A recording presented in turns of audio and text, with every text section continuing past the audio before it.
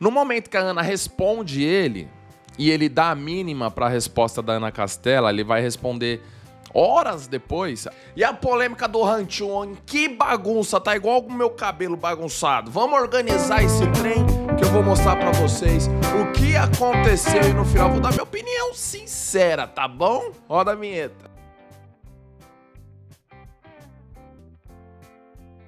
A outra, hein, bonito? Bom, eu sou Miller Bento, você está aqui no canal TV Meu Sertanejo, canal mais sertanejo do Brasil. Eu tô mais sumido que o Neymar no campo de futebol, não é verdade? Você tá louco? Deixa o dedo no like aí pra este vídeo que a gente vai falar sobre essa polêmica que tá acontecendo aí, sobre a música Ranchum, né? Uma música de qualidade, uma música muito boa, que tá criando um alvoroço, um pingo que virou um oceano e eu vou colocar aqui para vocês o que aconteceu. Bom, turma, então, para começar, a gente precisa conhecer as duas músicas. A dupla Anthony Gabriel lançou a música Ranchun no dia 2 de dezembro de 2022. Não é 24, é 22. Se liga aí.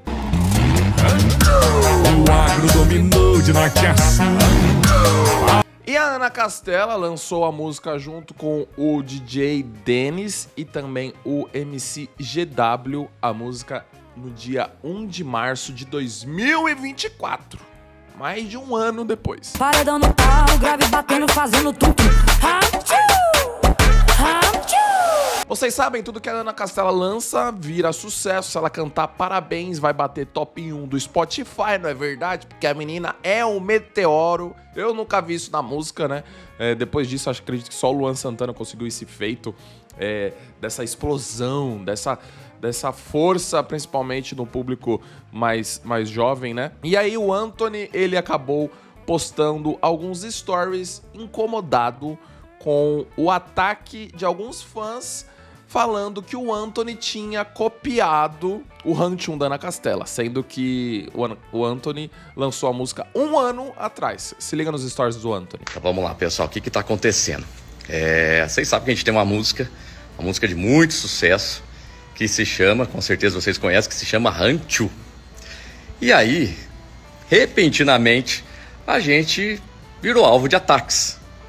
Um monte de gente acusando é, o Anthony Gabriel que está copiando, que está imitando, que está fazendo plágio. Por que, que está acontecendo? Porque Denis DJ, Ana Castela e MCGW lançaram uma música que também tem o nome de Ranchu. A gente tem um público mais sertanejo. Então, dentro do público sertanejo, a música tocou muito. E eles são três artistas, cada um é sertanejo, outro é do funk, outro é do é, eletrônico. Então, eles alcançaram um público muito mais amplo. E aí, é esse pessoal que não conhece o nosso Ranchu, estão vindo aqui em nossas redes sociais acusar a gente de que está copiando, que está imitando, que está fazendo plágio da música deles. Aqui tá a prova para vocês. A música foi lançada dia 2 de dezembro de 2022, ou seja, ela já tem um ano e três meses.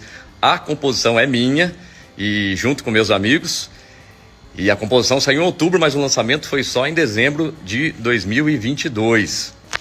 E essa situação toda, pessoal, tirou todo o brilho da, da música, sabe? Nossa, pensa só.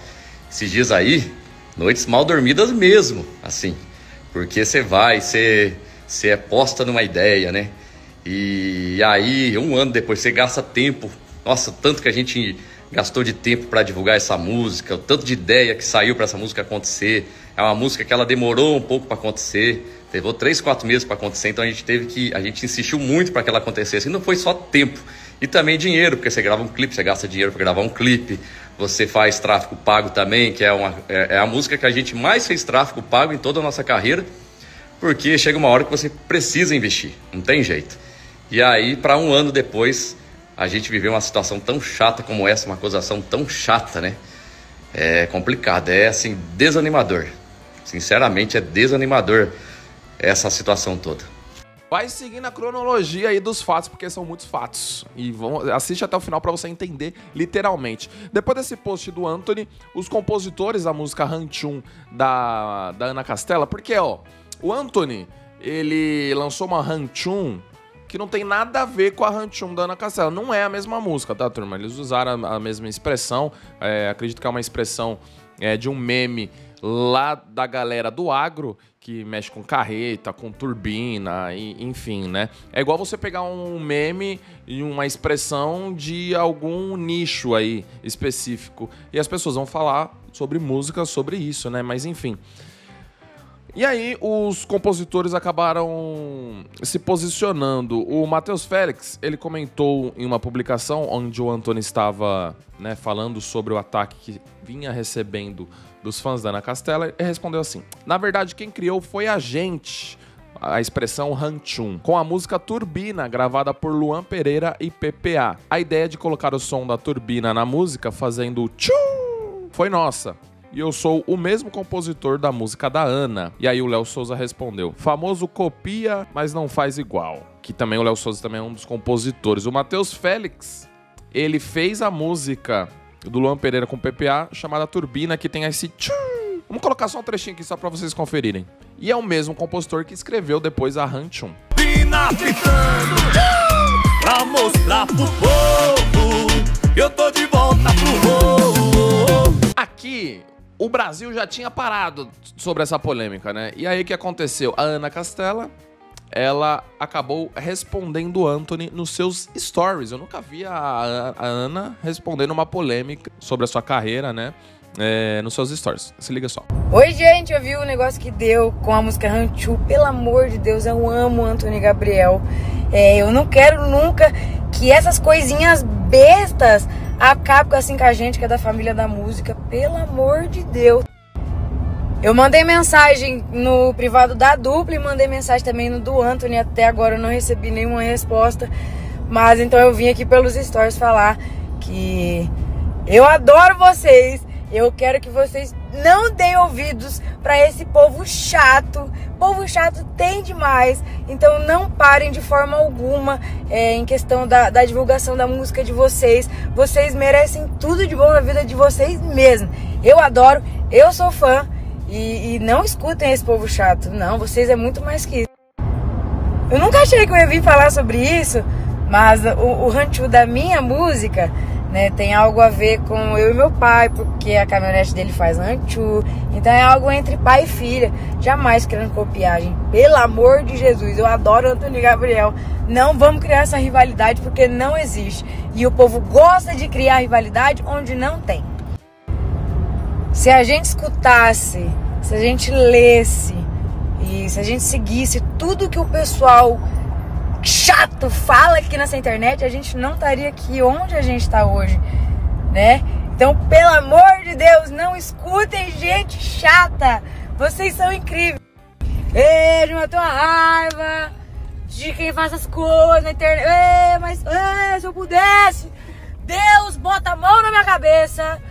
Amém. Aí a Ana fala que antes de ela gravar esse story, mandou um, um story, um PV, tanto no, na página do Antônio Gabriel, tanto pro Anthony, e o Anthony não respondeu. Depois que a Ana postou, o Anthony continuou deixando arder. Ele não se posicionou nos seus stories falando sobre a resposta da Ana Castela, que ele aceita as desculpas, que ele entendeu o posicionamento dela. Não, ele deixou arder e como se fosse nem vi o que a Ana Castela acabou respondendo. Após isso, um dos, uma das maiores páginas de fãs da Ana Castela acabou lançando é, uma nota, né, falando para os fãs pararem de atacar o Anthony. Depois disso, turma, o que, que aconteceu? O Anthony, ele decidiu tirar a expressão Hanchun do ônibus. Segundo ele, eles plotaram um ônibus com a palavra Hanchun, uma música que ele lançou em 2022. Ele tinha duas expressões no ônibus, as duas últimas músicas de trabalho, podemos se dizer, né? Que é a Hanchun e a outra, eu, eu preciso ver aqui, mas eu não lembro qual que é a outra expressão que tinha no ônibus. Então ele gravou e ele mandou os funcionários dele retirarem a palavra Hanchun do ônibus. Só porque a Ana Castela lançou uma música escrita Hanchun. Se você for parar para analisar quantas músicas, quantas músicas são lançadas com temas parecidos, com letras parecidas, expressões parecidas, o mercado tinha que parar, né? Mas continuando, a mãe da Ana Castela acabou respondendo o Anthony e ela falou isso daqui. Mas eu quero, agora eu sei também. Eu não ia, gente, eu não me meto nessas coisas. Primeiro porque a gente já vive nessa, a gente sabe. Anthony, você não tá tão chateado. Você tá aproveitando o teu engajamento em cima, né, do sucesso da Ana, da minha filha. É, porque isso tá, também está te dando engajamento, né? A tua música que estava lá atrás, há dois anos atrás, que você gravou, provavelmente está todo mundo indo atrás para saber que música é a sua. Que legal, torço por vocês. Mas mexeu com a minha filha, eu venho aqui falar. Então, só quero te falar uma coisa. A tua esposa ter falado da minha filha, ah, ela não falou nada com nada. Pois é, uma menina de 20 anos. Você tem um filho, Anthony. É um neném, uma criança, que vai crescer, que vai enfrentar. Ensine o seu filho a ser forte. Porque o mundo bate, o mundo judia. E mexeu com as nossas crias, mexeu com a gente. Isso você pode ter certeza tá? Outra coisa, Anthony. Ah, eu vi lá, me mandaram. Meu filho, você viu na mesma hora que ela postou. Na mesma hora, tá? Ela postou, você viu. Ah, mas ela pagou. Você sabe por quê? Pagou pela sua falta de consideração. Porque ela foi muito educada, porque eu tenho uma filha educada, graças a Deus. Eu eduquei muito bem a Ana tá? Eu falei, foge de briga, filha, foge de confusão. Ela foi lá toda doce, respondeu vocês. Eu falei, cara, que filha incrível eu tenho. E vocês, sabe o que vocês fizeram? Não deram a mínima pra ela. Então, pra que, que ela ia deixar lá 24 horas os stories delas para você não responder um direct, para vocês não entrar em contato, né? Ô, Ana, aconteceu isso? A mesma coisa que você disse lá que ela deveria ter consideração sobre a música, vocês também com ela porque vocês são mais velhos. Vocês estão lidando com uma menina de 20 anos, tá? Então é vocês que, que estão precisando rever algumas coisas, não minha filha. Ela meio que resumindo, né? Ela falando que o Anthony estava aproveitando do engajamento da Ana Castela. E aí o Anthony continuou respondendo, e inclusive ele respondeu a Ana também a mãe da Ana Castela. Ele falando que depois que a Ana falou que é fã da dupla, o Anthony falou que a Ana nunca foi fã, porque ela nunca seguiu a dupla, ela, ela nunca seguiu a dupla Ana Castela. Cara, você pode ser fã de uma pessoa e não seguir no Instagram. E seguir no Instagram não quer dizer muita coisa, na minha opinião, né? Eu sou fã do, do Kaká, mas não sigo o Kaká no Instagram. Eu sou fã. Deixa eu ver. Israel Novaes. Eu não sigo Israel Novaes, não. Então, assim, essa comparação de seguir, ah, eu segui ou não seguiu. Hoje eu acho que isso tá muito, muito, muito raso, sabe? Você não seguiu no Instagram, não é fã da pessoa? Pô, às vezes você tem o, o respeito, você acompanhou. Porque quando o Antônio Gabriel fez sucesso, a Ana Castela nem era cantora, né? Então, certamente ela conhecia, até porque os dois são das mesma, da mesma cidade. O Antônio fez muito sucesso. E acredito que sim, a Ana Castela deve ter acompanhado a carreira do Antônio Gabriel e deve ter, né? Gostava do Antônio Gabriel, enfim só que não seguia, né? Isso daí são razões. A Ana Castela, eu sou fã da Ana Castela e a Ana Castela não segue a gente, eu não vou ser fã porque a Ana Castela não segue o TV Meu Sertanejo. Então, para mim, isso daí é uma cabeça muito pequena pensar dessa forma, né? E aí o Anthony respondeu aí a Ana Castela, é, falando sobre a Ana Castela e a mãe da Ana Castela. Se liga aí. Estão perguntando se eu vi o pronunciamento que ela fez ontem, né? Gente, o pessoal me mandou aqui, eu vi. Ela falando que era nossa fã. Gente, que fã é esse que faz um trem desse, entendeu? Fã que nunca seguiu a gente em rede social, desde o início, cara, nunca seguiu a gente em rede social. Que tipo de fã é esse? Pra cima de mim? Ah, eu sou macaco velho. Macaco velho. Entendeu? Se realmente fosse fã, se realmente admirasse nosso trabalho, quando ela teve ideia de fazer o Rantil lá, que ela comentou que, é, que, é, que teve a ideia junto com o pai, que é coisa de pai e filha, teria botado nós na música, ó, teria, teria feito convite, Anthony. É, a gente está com uma música aqui, Rantil, eu sei que vocês têm a Rantil de vocês, o que, que, vocês acham? E eu fiz um vídeo com meu pai, os compositores fizeram uma música muito massa. O que, que você acha da gente gravar junto? Isso sim seria postura de artista top 1 do Brasil. Tava tudo certo, tava todo mundo feliz hoje. Pra gente ia ser ótimo, eu ia topar com o maior prazer. Dando sequência no cronograma aí dessa polêmica gigantesca, o empresário da Ana Castela respondeu o Anthony. Um dos, né? Porque o, o, se não me engano, ele tem três, três ou quatro empresários da Ana Castela. O cabeça é o Rodolfo, né? Ele não se posicionou, acabou não se posicionando. Mas o Rafael, que é da dupla Léo Rafael, também é um dos empresários e respondeu. Fala galera, boa tarde, tudo bem? Ó, eu estava em viagem nas últimas horas, tenho um show hoje em Guaiçara, São Paulo. E a hora que eu peguei o celular, puf, esse bombardeio dessa, desse assunto que tá virando a internet hoje, que é da Ranchu. Então esse vídeo, Anthony, vai ser para você, vou até te marcar aqui porque esse recado é para você. Quando eu cheguei, peguei o celular e vi essas mensagens, a primeira coisa que eu fiz foi conversar com a base de fãs da Ana, com alguns contatos que eu tenho com o central de fãs da Ana, perguntando se eles estavam realmente deferindo alguma ofensa do Plantano Gabriel, até para pedir para parar, né? Porque eu ia falar, gente, tem nada a ver. Se vocês estão fazendo isso, para, porque realmente não tem nada a ver. O que eu ouvi deles é que assim, os fãs, a base de fãs mesmo da Ana, não estão fazendo isso. E coincidentemente eu estou entrando na internet e não estou vendo realmente nenhum comentário de fã da Ana deferindo ódio contra a do Pantano Gabriel. Muito pelo contrário, estou vendo agora uma galera que você está engajando a chegar no perfil da Ana para falar mal dela. Então esse recado vai para você e para todo mundo aqui que está nesse assunto. Então esse é o primeiro ponto mais intrigante, assim, da minha parte. Não vi esses ataques. Eu confesso que eu uso só mais o Instagram, no Twitter, eu nem tenho acesso. Então, se acontecer alguma coisa lá, Anthony, eu vou te pedir desculpa publicamente aqui por parte da Agroplay, né? Da Ana, representando a Ana também. Porque isso é muito chato, cara. E a gente sabe isso, sofre na pele. Sabe por quê? Toda semana a gente sofre ataque na internet. Toda semana tem algum tipo de rede pesado contra a Ana. Inclusive, isso é um ganchinho, né? O engajamento é alto quando colocando a Castela no meio. Então, se aconteceu isso, cara, peço desculpas. A gente já conversou com a nossa base de fãs, mesmo eles falando que não estão participando disso. Foi novamente né, refeito o pedido para que parasse. Agora é o seguinte: nos últimos stories você reverteu a história, não é mais contra os fãs da Ana, você falou diretamente da Ana, uma postura que você falou que seria o ideal para um artista do porte dela. E aí se contradiz um pouquinho na nossa história para cima de mim, não. Você, como artista, tinha que ter chamado a dupla Antônio Gabriel para participar da Ranchu. Tá querendo o feat da menina e não tá sabendo pedir, né, Antônio? Porque daí eu me lembro de 2019, quando eu falo que a conduta não condiz com o que já aconteceu. A dupla Léo Rafael lançou uma música que se chama Agretop, muito importante para o nosso segmento, defendendo o agro, uma, uma mudança de chave realmente, porque teve logo a seguir. Meses depois, a dupla Antônio Gabriel lançou uma música que se chama Agro é Farra. Tá aí tudo bem. Se vocês assistirem os dois clipes, vão ver que o roteiro é mesmo um em cima do outro. Não adianta falar que. Ah, mas a música de vocês é tudo igual. Não, é só assistirem os dois clipes. Vocês vão ver cenas iguais, takes iguais, enfim. Ideias iguais. Mas tá tudo bem. Não só lançar a música não é o problema. Na época eles começaram a vender shows. Quando lançaram a música, falando assim, ó. É os meninos do agro, a dupla do agro. É a nossa música agro é top lá em cima. Eles saíram vendendo como se fossem os meninos do agro só enfim, turma, tem muito mais desdobramentos sobre essa polêmica.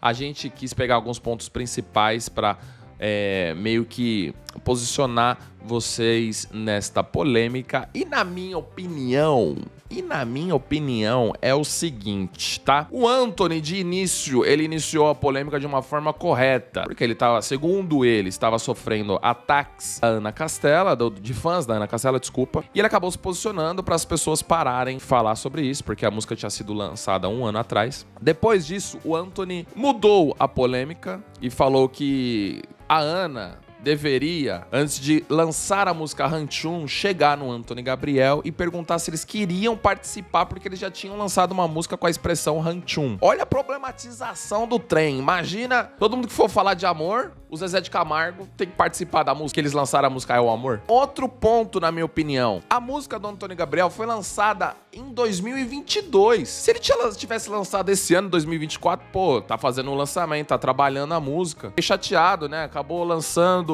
próximo de lançamento. Mas não. A Ana Castela lançar falar sobre a música Seu Padre, que foi um grande sucesso do Antônio Gabriel. Não pode falar do Seu Padre porque o Antônio Gabriel gravou. Então, assim, eu entendo a chateação, mas na minha opinião, o Anthony fez de um pingo um oceano. Porque, assim, ele sabe que a Ana já tem alguns haters que não gostam das músicas que ela lança, que tem a mistura de funk e tudo mais. Então, ele acabou aproveitando sim, ele aproveitou, pegou o, limão, fez a limonada, é, fez um engajamento muito forte para ele em cima disso.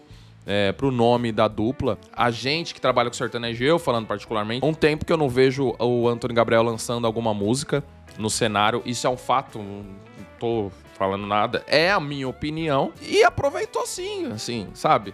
No começo ele estava certo, mas depois ele foi se complicando. Ele foi continuando, dando corda pros fãs irem lá atacar a Ana Castela. Foram, foi dando corda pra polêmica, foi dando corda pro engajamento. Então, assim, ele iniciou corretamente a polêmica, mas depois ele foi indo para um caminho que acabou se perdendo, na minha opinião. No momento que a Ana responde ele e ele dá a mínima para a resposta da Ana Castela, ele vai responder horas depois, até porque no momento que a Ana Castela postou, se ele falar que não viu o story, é brincadeira, né? Se ele tá falando sobre a Ana Castela, a Ana Castela aparece no story falando dele, marcando ele e ele não responde, é que ele tá dando corda pro engajamento. Se nessa hora ele chega na Ana Castela e, e agradece o posicionamento, agradece por ela pedir pros fãs pararem de atacar e, pô, parabéns pelo seu sucesso, é, a música, um sucesso. Até porque a música que ele lançou foi muito tempo atrás. Não foi música de agora. Meu Deus do céu. Imagina o Jorge Matheus. Não, pronto, do Henrique Juliano.